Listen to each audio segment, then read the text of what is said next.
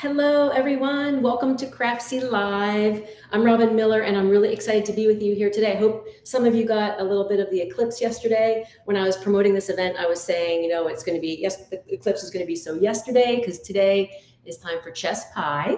Um, I usually don't do baking when I do my live events with you guys, but so I thought this would be super fun to tie in because Craftsy has so many amazing baking classes um, and recipes. I thought it'd be fun to throw one of mine into the ring with all of the other pro baking recipes. So um, chess pie. So that's why I'm going to do it today. I'm going to show you the steps of how to do it. Um, it's easy, but there are some waiting times. So it's one of those uh, recipes that you want to plan ahead to make. Um, and it's great for summer because it can be served chilled. And I love it chilled because it's kind of like um, the, a chess pie. Well, I'll give you a little bit of the background. So it's a Southern dessert Typically, eggs, sugar, butter, very simple. Um, a classic Southern dish, really easy to make. And there are two uh, rumors of how it got its name. The first one is that someone uh, made a, they called it a chest pie because it takes pretty much everything out of your pantry the sugar, the butter, the eggs. Um, and with the southern accent it came out chest pie and the other theory is that someone said ah it's just pie because it's a simple pie um, and with the Southern accent, it came out to be chess pie. So no matter how we got the name, I kind of did a little tweak on it. Not the only one to make a chocolate chess pie, um, but mine I think is foolproof and just ultra chocolatey because I'm using two different types of chocolate. So I will show you the steps of how to make it. I have a screen here that I can see if you write in questions or comments. We can make this um, back and forth. We'll have fun with this. That's why I do live so that we can have a conversation as I go along. So it's like you're in my kitchen with me. That's my favorite way to cook now that I'm empty nester. So you're in my kitchen. Feel free to um, ask questions or if you've ever made this, or if your family has, or if it reminds you of something. So feel free. And you can ask questions about other things too. I have a lot of new content on Craftsy. If you have any questions there, throw it out there. So, excuse me, I'm so excited. First thing we're gonna do is, is the crust. And I cheated a little bit with a store-bought crust, which I have no problem doing. There are some great, I have the oven going.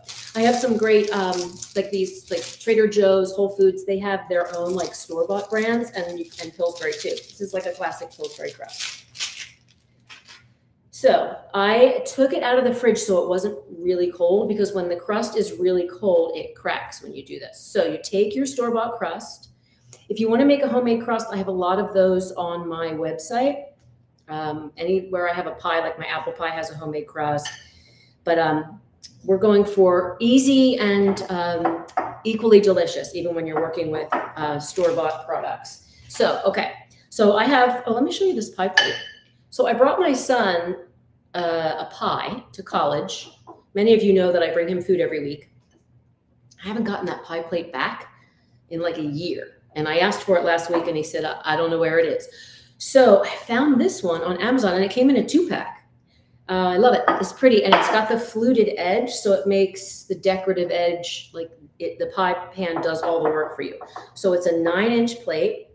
Uh, let me see if you can see my hands. Yes, you can. So the way that you uh, make a decorative edge is I, I, you know, you just pinch around the edges. So you pick one finger with the dough and the and then two fingers to pinch it. You maybe have all seen this before in other baking classes. Um, and the other way to, you could just go around the edge with a fork to make that fluted edge. That's equally pretty. Uh, Heather there, I love this pie. I had it once when I was a kid, never knew the name of it and never had it again, but it always stuck with me. I'm excited to see it made. I hope it is what I remember. That's awesome. And I hope it is too, Heather, because um, as I said, the classic chess pie is not chocolate, but maybe you had a chocolate one. I don't know. But I stuck with the classic ingredients. There's nothing weird in here. I added a hint of espresso, but you really can't taste it. It just kind of catapults the chocolate flavor, and you can leave that out. Um, and that's what, like, when you get something that's mocha, you notice you kind of, it's not like a coffee taste. It's really just a catapulted deeper chocolate flavor. And that's uh, what we're going for here. We're only using a teaspoon. So we're going to go around the edge here and make it pretty. I was thinking about bringing this pie also to my son and his roommates in college, but I like this pie plate. I'm not sure I would get it back. so to think about that. Maybe I'll take it out. Maybe I'll cut slices out and just bring him pre-sliced pie and I can keep my new pie plates. Okay. I'm kind of a, you know, it's funny. I'm like, uh, I go around and around just to make sure it's perfect because I feel like with a pie, the decorative edge is like the first thing that people notice. Call me silly. All right, so we got that. And then what you want to do, so in the recipe, um, I tell you to partially bake the pie and then uh, prick the bottom with a fork. You can follow the recipe as is, or um, you can prick the bottom of the crust with a fork now, because we are going to weight this with pie weights. So you can do it either way. I'm doing it now um, because that way it's done. And the reason you prick the bottom of a pie crust is so that it doesn't puff up and rise, even though we're baking it blind, which is with weights and, and not a filling. That's why it's called blind.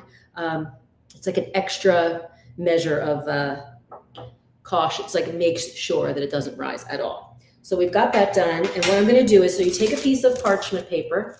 I folded it in half so it's double. Put that right in the center. We have Kashmiri says, hello, I am from India. Hello, Kashmiri. I'm going to India this summer. I'm excited. Uh, Carolyn says, please tell us where to get those pie plates that you're using. I got on Amazon, literally, and it was a two pack and they were not expensive.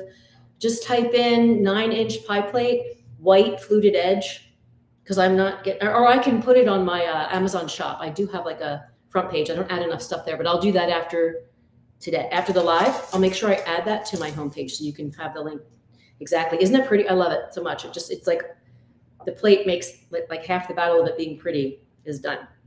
Uh, Becky, hi from Spokane and hi from Pennsylvania. I love when they're from all over the world and all over the country. Okay, so the next thing I'm going to do is I have um, an egg white. So this recipe calls for three eggs, and you use two whole eggs and a yolk in the filling, and you use the white just around the edges of your pie crust. And what this does is it makes it the edge shiny. You don't have to do it, but if you've ever seen the difference between like a shiny edged pie and a dull edge pie, this is why. We have to do this little egg wash. We're still good with the questions. So I'm excited. Um, yeah, I was just talking to somebody about uh, my trip to India. It's not booked yet because I'm still trying to figure it out, but my son is going to be there um, this summer and I'm going to go visit him. So I'm excited to see your country. Alrighty. Just the edge, because we're going to fill the pie, so you don't need to make it glossy anywhere else. Okay, here's another thing I found on Amazon, because pie weights. You can use dried beans, rice, um, use all those things. But I thought, you know what? I I make a lot of pie. I should have like official pie weights. So that's what these are. Whoops. Did you ever play that game? What's it called? You put the ball in at the top and it goes, is it Plinko? That's what it kind of sounded like. It landed in a bowl in my island. That's that's awesome. I have to see what the prize was under my, my island. Okay, so these are just uh, pie weights. And what's great about them is it's the perfect amount for a nine inch pie. And it's the perfect amount of weight. So you just pour them in there. And then after you finish baking, you just dump them back in the container and save them for your next pie. So that's what, if I tilt it, See how they are, the weights is great. And they were, it's also Amazon. I can link to those too because they were uh, very inexpensive. I can't remember how much they were, but about the price of a bag of beans. That's what I was thinking, but I can keep reusing them and reusing them. So, um, okay, so this is ready to go. Oh, wait, no, it's not ready to go to the oven. It goes to the refrigerator for 30 minutes. This also helps ensure that the the dough doesn't rise. So that's why I said this is an easy recipe, but give yourself some time to do these steps and let things cool. So this goes into the refrigerator for 30 minutes. Then uh, while that's in the fridge, you can preheat your oven. And then you cook the pie with the weights at 375 degrees for 15 minutes. Then you take these weights out. And in the recipe that you'll see um, as part of this live, I tell you then to prick. This is the second time you can prick if you didn't do it first. Prick the bottom and the sides of the dough. And then it goes back in for five minutes. And I'll show you what it looks like. So that goes in until it's golden brown and fabulous, like this one. Here's the second of the two pie plates I got in that thing. So the edges are golden. It didn't rise. It's perfect. And I also wanted to do this in advance because it needs to cool before you put the filling in it. So that's been cooling and then I can show you the filling. Do we have uh, Little Baking Mama says, this is my favorite pie. Awesome. I'm wondering, Little Baking Mama, if you do the chocolate one or if you do the classic chess pie that's uh, just really white eggs, butter, sugar. Um, I was reading, when I was thinking about what I wanted to talk to you about, I was reading that there, somebody said, what's the difference between chess pie and buttermilk pie? Um, it's the buttermilk. So here, there, sometimes there's milk. I use heavy cream in my filling. Sometimes there's milk, but um, not buttermilk because buttermilk adds tang. It's a different pie altogether. Uh, hello, Maya. I think I can read that from California. And I think that says moles. Uh, love a good pie crust. Yum. I know. And I do feel a little guilty for cheating, but not that much because I do it all the time. I love the um, store bought crusts. They've come a long way from the days where they were dry and bland. Uh, so like always have the a two pack in my freezer, always. Right now, I do. Okay, so now I'm going to make the filling. And as I mentioned, there's a total of three eggs. We already used the white. So we've got the leftover yolk from that first uh, egg. So we're not wasting anything here. And when I um, write recipes, I always suggest that you use large eggs. That way the measurements are consistent with the way I did it. So um, if you can use large eggs, that'll be what I used, and then you'll know that your filling is, the measurements are all correct. Uh, yep, I'm caught up on my questions, but you can keep them coming. You can keep comments coming too. All right, let's get the other two, two eggs in there. And you know, sometimes recipes will say um, have your ingredients at room temperature you don't have to. This is that's important with things. You know, I, I did a whole chocolate chip cookie story last week. Room temperature eggs, room temperature butter, um, because those ingredients blend better when they're room temperature. So, say you're whisking or you're using your uh, electric mixer for the butter sugar when you're beginning to do cookies and, and scones and things like that. That's why it's important to have room temperature ingredients so they blend better and, and they aerate so that the sugar can get into the butter and aerate. Not needed here. It's going to blend just fine. All right, three eggs. I'm going to give that a head start whisk. Get some fluff to it.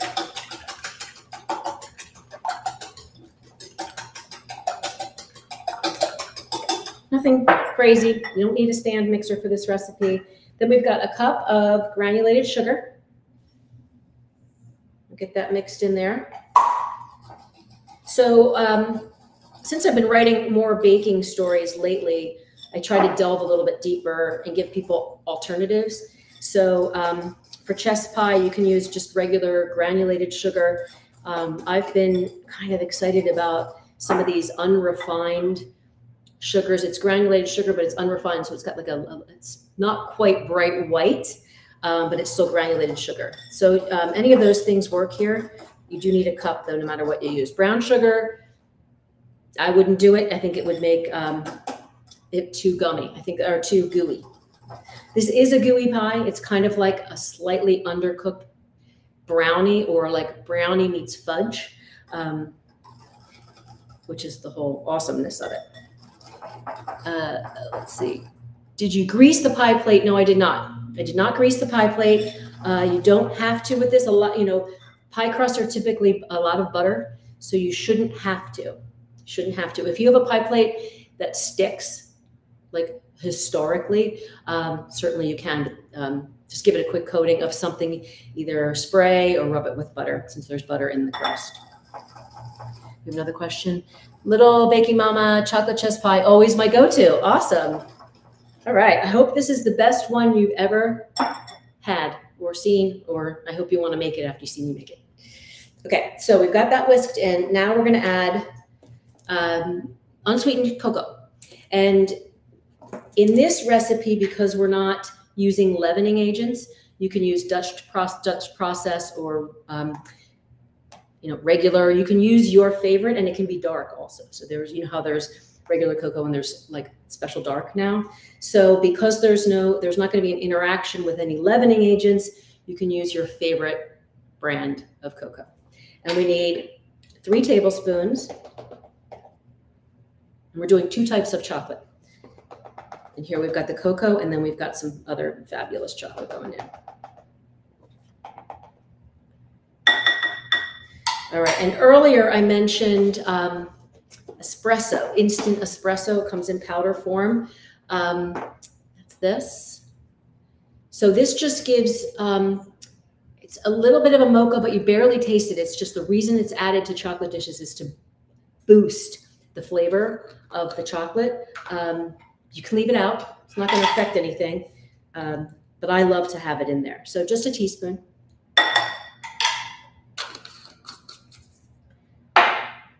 I whisk. Any other questions for me? Do you think, oh, I just spilled reading the question. Do you think you could use coconut sugar? Yes, I have baked quite a bit with coconut sugar. And I think in a recipe like this, it would work well. I have found um, it, and I say that I say that because it's in like a custard, like an egg base, and that will protect the coconut sugar. I have found in other instances it browns. I don't know if you have noticed that too, but it gets a dark, a darker color, almost like a and like a burned flavor. Um, but yes, in this application, I think coconut sugar would be fine. I have a bag of it here too. Like I'm going to definitely use it. Um, and it would be fine in here if you want to replace that. Absolutely. And hopefully you won't get the cocoa all over your counter. That's all right. A messy cook is a happy cook, right? Just shows you've been having some fun. So you're going to get that blended. Bring me those questions. Did I miss any? I don't think so. I think this is a great pie for the season because, um, as I said, you can serve it like room temperature or chilled. And I think, you know, it'd be great for a picnic or a potluck or a book club or um, birthday kid's birthday party, you know, something where you want to make it in advance, have it in the fridge. I like to have it from the fridge because it's like fudge when it gets chilled. All right, we need a couple more ingredients. Just make a, a little clean workspace here for myself. Um, heavy cream. So I mentioned that milk and cream are not always in chess pie, but it works really well in this one um, with the other ingredients because we had the unsweetened cocoa um, and we just need a little bit more liquid. So just a quarter of a cup. Have you guys seen the prices of heavy cream? I don't know what it's like in your store, but in my store, the price of heavy cream has gone through the roof. So I got this little, found this little tiny one today for less than $3, which I don't know, like it has typically been like this national brands are like six, seven dollars for this size. So you want to find like recipes for it, right? If you're going to spend that much money. But this was 269 or something. So I was very happy about that. So we've got a quarter cup of that just to add a little bit more richness and liquid. We have uh, a question. It's Bueno, bueno Puff. Do we have to use the espresso Absolutely not. Absolutely, you do not need to use the espresso. It is only used as a flavor enhancer to enhance the flavor of the chocolate. Leave it out. You don't want it, or if you don't have it already, leave it out. I've done that many times. I've done. I've seen a recipe for something, and I'm like, oh, I don't have it. The espresso. Leave it out. Nobody can tell the difference. It's only if you want that little uh, hint of mocha, and um, but you definitely won't miss it for sure. Can you use Splenda? So if you're talking about the Splenda that is one to one baking Splenda, like meant for to replace your sugar, it should work. I haven't done it, but I have. I was spokesperson for Splenda in the past, so I did do a lot of baking with their one to one Splenda meant to replace sugar in baking. Yes, it should work. It definitely should. I don't see any reason why it wouldn't. I did so many recipes with that exact product. Um, so absolutely give it a whirl and let me know because I'm sure it's going to be great. Of course, we are using chocolate, so you're going to have some sugar in this because um, we are using a chocolate bar too. I think I missed a question. Let's see. Uh, how long can you store the pie after baking? Great question. So this is why this is a great kind of uh, pie to do in steps. So you can bake the pie in advance, store it at room temperature for up to 24 hours. You can pop it in the fridge for up to three days. So you can have that ready you can have the filling ready. You can put everything together and bake right before. Well, yeah, but right before or the day before because you want to let it cool for a minimum of two hours before you cut into it. So you can do a couple days on the crust, a couple days on the filling, and then you need a couple of hours once it's baked. Um, let me see. Do you usually serve it with whipped cream, or um, or could you use coconut cream instead of the heavy cream in the pot? Coconut cream, I think, would be amazing. I think that would be really good. So if you mean coconut cream, not cream of coconut, because well, cream of coconut, I have a can right there. I'm doing a pina colada story. So cream of coconut is the one that has sweeteners in it. So I think coconut cream would be perfect. I actually think that would be great. And you know, there are coconut based whipped creams on the market now. So you could, if you're trying to get rid of the dairy, I mean, there's a little butter. Um, absolutely, you get a coconut based whipped cream or leave the whipped cream off. I do have whipped cream. I actually cheat. I have it under here and it's the, uh, the one that you go, that one. Um, so, but yes, you could use coconut cream in here and leave the whipped cream off if you're avoiding tons of dairy. What else? Did I miss anything? Espresso, Splenda. If I missed your question, um, say it again so it comes like to the bottom of my list. All right, what did I miss? Vanilla. So another product that I love, so pure vanilla extract has far superior flavor than imitation vanilla. Yes, it's more expensive, but it lasts forever. I mean, I get this big thing, it'll last me for a while. Um, I'm gonna use a teaspoon and a half. It's one. Um, in the pantry, another product I get online because in the grocery store I can't seem to find, I only can find like the same, same old ones. And I like to have a lot on hand. And it's not super expensive. I think that was 25 or $30, which might sound a lot. This is huge. And in the store, it might be like $9 for that little tiny one ounce one. So, oh, the aroma, fabulous. For those of you that love vanilla um, paste, vanilla bean paste, that works too. Uh, substitute that right in there. What did I forget? Oh, I know what I forgot. Okay. So the last thing that goes in is something that I already prepped ahead. I'm all caught up. So in this bowl, I had cooling, a blend.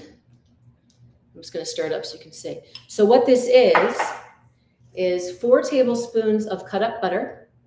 And when I'm doing rich desserts, I love to use the European higher fat butter. It just super creamy, melts in your mouth like butter because it is, but it's actually superior for baking. I do love it. So this is unsweetened Plugra European butter. Um, if you're going to use salted, leave the salt out, which I still have to add. Um, and the other reason, here's a tip. You may or may not know this already, but I love uns unsalted butter just because it's usually fresher. So salt is used as a preservative. Um, so when you're buying unsalted, you know that the uh, it's probably um, fresher, a fresher product. So that's that. And I melted four tablespoons of the Plugra with two ounces of this chocolate. So that's half of this bar. Broke it up, put it in a bowl, put it with the butter, and you can do it in a double boiler over simmering water, in a bowl, in a saucepan of simmering water, or in the microwave, checking every 20 seconds. Okay, and then you want to let it cool because you don't want to cook the eggs. So you let it cool and then you add it. It's the last thing we do, and we'll add some salt. But it's the last thing we do. We add this wonderful butter chocolate mixture. So there's where your second chocolate comes in. We have the cocoa, we have the Ghirardelli, but any um, chocolate that you find in the baking aisle. I mean, Baker's has a, um, a semi-sweet. You can use uh, dark or bittersweet. So you can really make this as uh, bitter sweet as you want, depending on this bar of chocolate and the cocoa that you use. So, tell. Alrighty, let's get this a nice mix. And then salt, which as you've probably heard and know, you add salt to baked goods, sweet things to balance the sweetness and to bring out the chocolate flavor. Just a quarter teaspoon.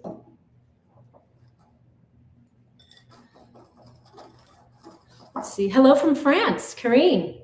Hello from France. Did I miss a question? You can use coconut cream. Hello from France. WC asks, is that dark chocolate? So semi-sweet.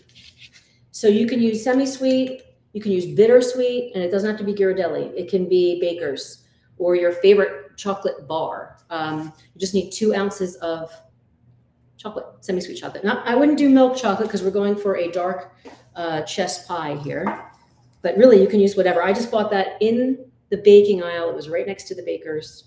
That's where that you sell it, where they sell the chocolate chips and all the other things. All right, so there we have our filling. Gorgeous. And we have our cooled pie crust, which I did earlier today, so it was be nice and cool before um, baking.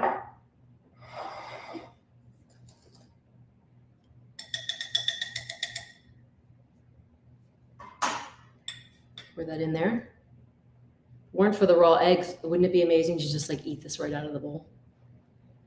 I make sometimes I make um, my chocolate chip cookies with those pasteurized egg whites, you know, from the grocery store, and then my boys can eat the the batter, the dough, the cookie dough, because it's pasteurized egg whites. There's no raw. Of course, some would say you can't have the raw flour, but I've been doing it for years.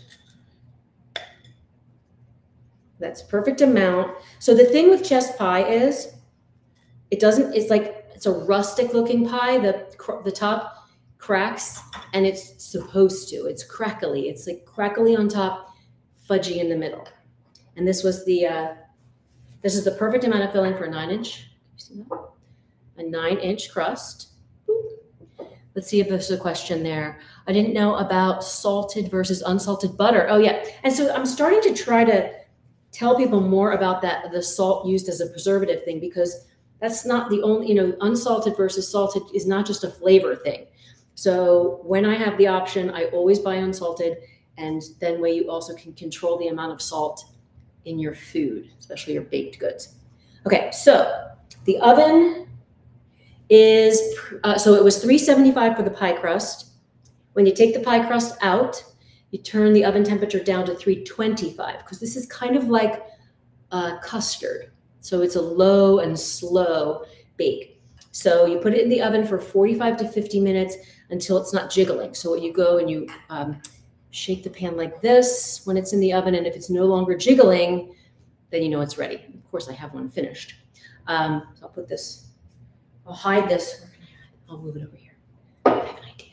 Make room. Um, and uh, as it cools, it firms up. But again, the top could be crackly, should be crackly. Here's my finished one. It's coming. See, this is before I got those cool white pie plates from Amazon. But I wanted to take a slice out so you could see that fudgy filling. Can you see that in there? see the crackly top, the fudge-like filling. Does this look like, the, those of you that have had it before, does this look like the chess pies that you have made with a nice crackly top? See that? I'm gonna just take a, like I wanna take a fork. Oh, I wish you could see that. Look at how you crackle, you go into the crackly crust and you have this like fudge-like,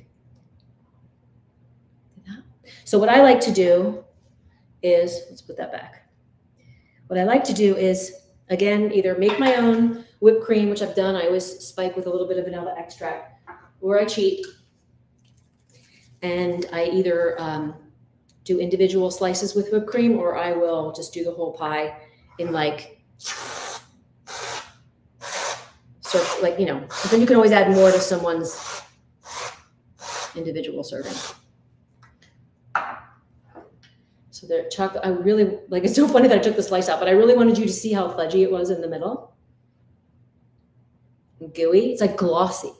And then, um, so after two hours, it's ready to serve, and at that point, it's going to be room temperature.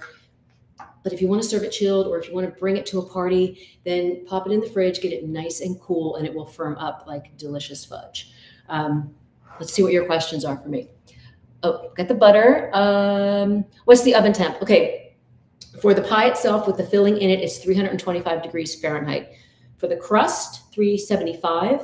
So you bake the crust, take the crust out, lower the oven temperature, or turn it off while the pie crust cools. And then when you're ready to make the pie, it should be 325. And here's another tip I just thought of. Um, if you want, and I do this a lot these days, because if you don't know the quality of your pie plate, bake on a baking sheet. It's just, it's nothing to clean. You just put the pie on a baking sheet, put it in the oven. Um, I kind of am getting into the habit of doing that, especially this won't bubble over and spill, but The ones that do, you know, it's a pain. It's all in the bottom of your oven. So um, that's kind of my new go-to. So that, and also um, for not like this pie, because you want the top to crackle, this pie, but it does prevent cracking of other things like cheesecake um, and other pies that you don't want necessarily to crack on top. Uh, oh, it says it looks delicious. Thank you. I'm so glad you could like, because you know, it's hard for me to see what you can see, but I hope you can imagine, like my mouth's watering, like the fudginess of it. It's like biting into a super fudgy brownie that married a piece of fudge. Like that is, and it's just the flavor is so great. Uh, Charlotte asks, um, you know it's done when it's not jiggly, so not the clean toothpick trick like a cake.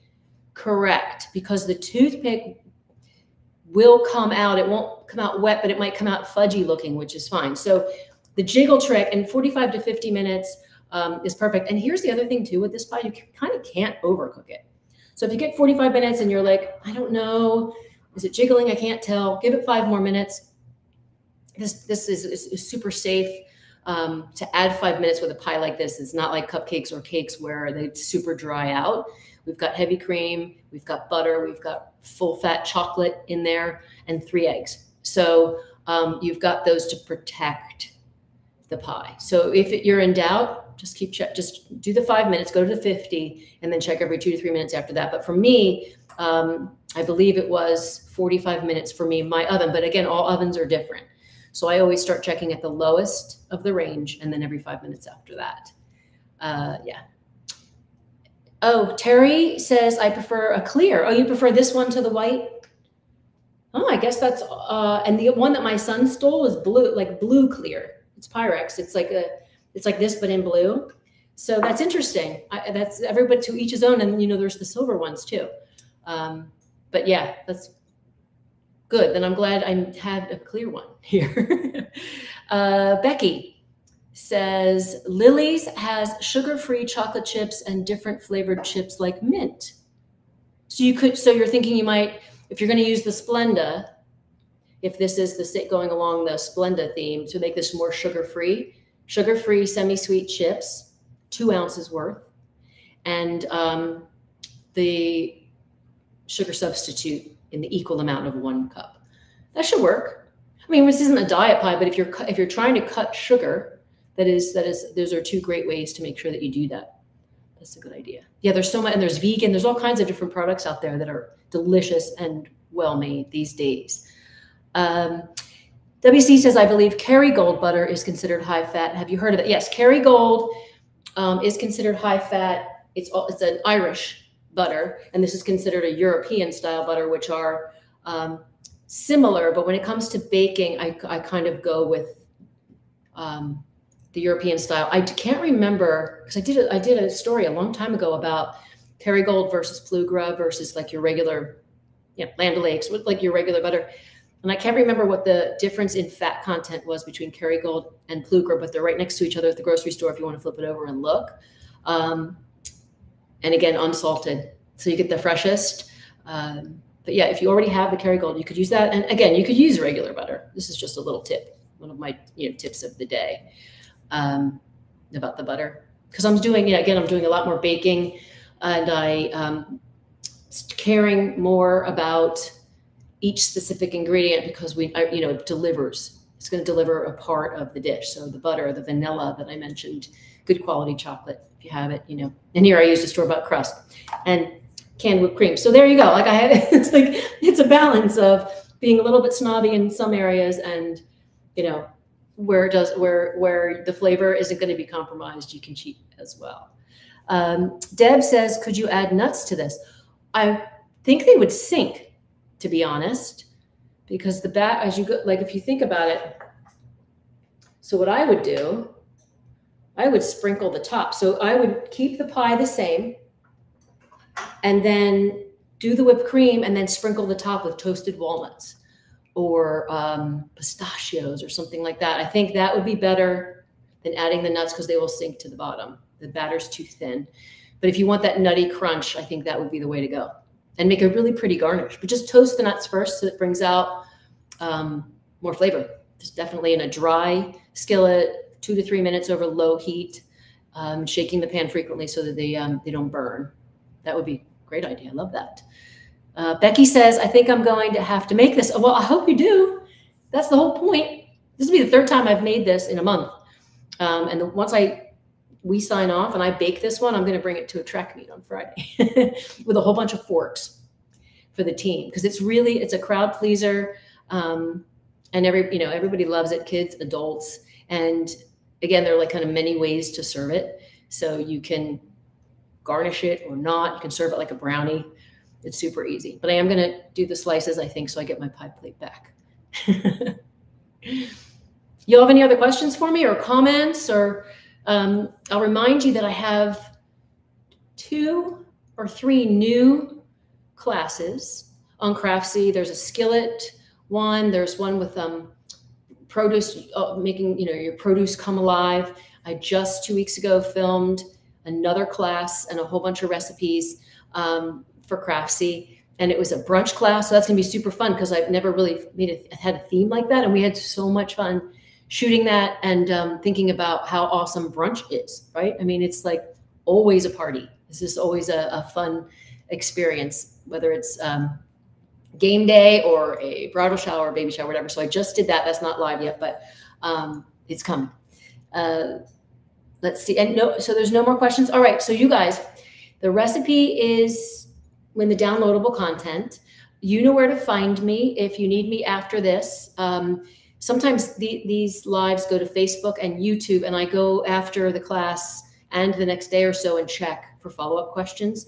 Um, sometimes they are there. And if you need me for anything else, robinmillercooks.com, and there's a contact sheet, and I always respond. Always, because I always get those and I always respond, and hopefully have the answer for anything you're looking for. So robinmillercooks.com, and then I will be looking if you have any questions after this. Um, I'll be checking Facebook and YouTube to follow up with you. So thanks for watching Chocolate Chess Pie. I hope you make it, and uh, I'll see you in May for something super fun for summer. So thanks again. I'll see you later.